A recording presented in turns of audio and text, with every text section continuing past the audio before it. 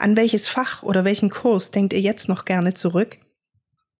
Äh, klingt sehr ungewöhnlich, aber tatsächlich denke ich oft an Mathe zurück. Ähm, es gibt hier einen Professor, der Herr Plappert, der macht äh, Mathe 1 und 2, zumindest bei dem Studiengang, den ich hier belegt habe.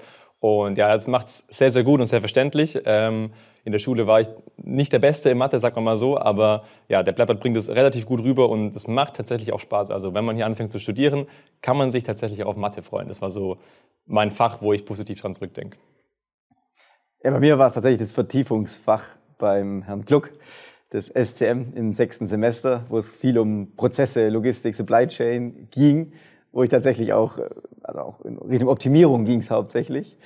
Äh, und das habe ich dann auch äh, sehr viel adaptiert, auch im privaten Umfeld, wo man dann gewisse Prozesse optimiert. Und es begleitet mich heute noch und ich denke da sehr gern zurück und habe die Tipps auch, wie gesagt, privat umgesetzt, teilweise. Und das ist, erinnert mich immer sehr zurück.